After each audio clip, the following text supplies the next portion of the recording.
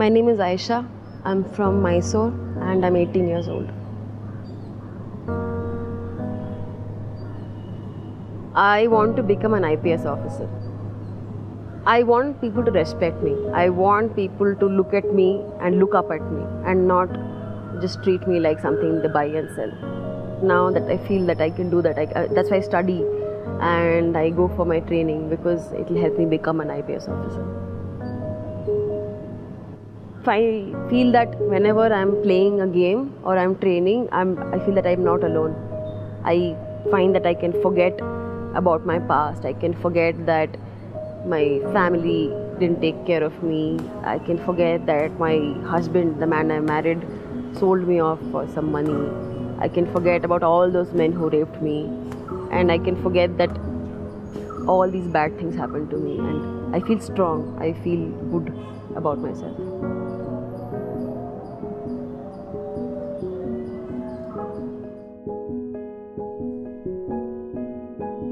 This man, his name was Rajiv, and he was he was a lot older than me. He was 30 years old. Uh, but anyway, I got married to him, and uh, after marriage, uh, I went to stay with him and his mother, and we all went to Andhra Pradesh. Every day they would ask me, "Where's the dowry? Why don't your family give us any money?" So this torture for dowry went on every day. Uh, some months after this, I realized that I was pregnant. And uh, so Rajiv and his mother told me that you can't have this baby, you have to kill the child. And uh, they took me to a hospital in Yelahanka and where they did the abortion. He took me one day to this house where uh, it was a big house and there was one man and one lady there and he said you stay here you'll get work here so i stayed there and rajiv left. And i didn't see him after that. They kept me locked up in one room. And after 2 3 days these strange men people i didn't know started coming to see me. And they said they'd come here to have sex with me. And when i said no one of them took me into a room and he raped me. And every day these customers would come. Five of them six of them every day and uh, every time i said no or i tried to get up or i tried to go away they would they tie my hands or they would hit me and they would make me do whatever they wanted to do. Then i realized that rajiv had is not going to come back. He had sold me to them for 10000 rupees or something like that. He'd sold me. Like you sell an animal my husband had sold me.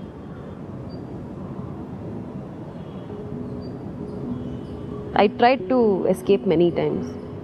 Every time I tried, there used to be one man and one woman waiting outside the door, and they would just stop me, they would pull me by the hair and bring me back in, and again I would be locked up. I used to just lie there and let them do whatever they want to do. I used to be very angry at my parents. I used I used to blame them for just leaving me like that. And if they had been there, then maybe none of this would have happened. So I used to be very angry at them.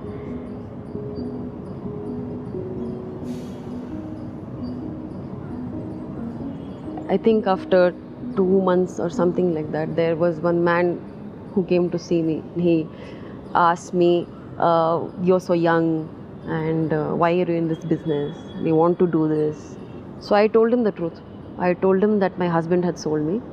So after this man left, half an hour later, the next customer came.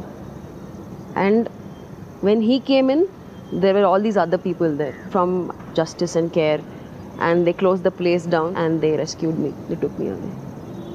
If I had been there for any longer, either they would have killed me or I would have killed myself.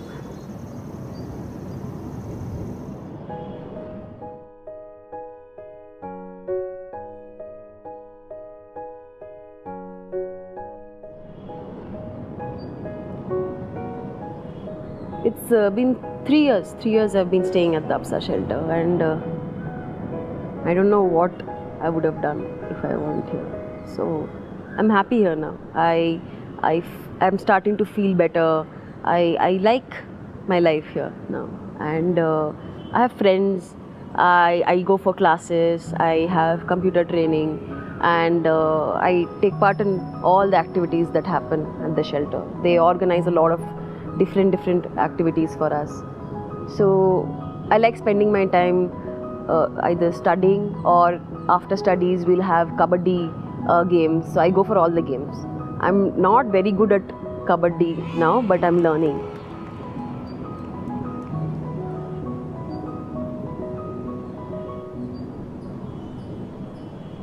I think now I finally I feel safe and I feel like I've come home. I feel I feel like I'm protected and uh, I now hope about I have hope and I think about the future.